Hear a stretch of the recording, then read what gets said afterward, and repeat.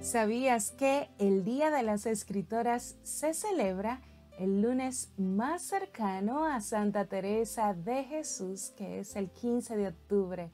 Esta iniciativa comenzó en España gracias a la Asociación Clásica y Moderna, a la Federación Española de Mujeres Directivas, Ejecutivas, Profesionales y Empresarias, así como a la Biblioteca Nacional de España